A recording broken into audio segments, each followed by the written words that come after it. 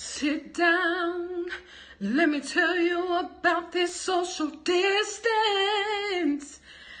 Take a listen, take a seat, and hear me. Children are restricted from schools. Parents are home from work. No walks in the parks. No swimming at the beach. No movies to watch at the movie theater.